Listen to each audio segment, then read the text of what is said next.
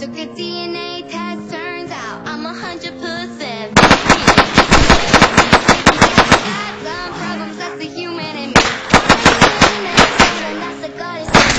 Had a good friend, not. Help you with your.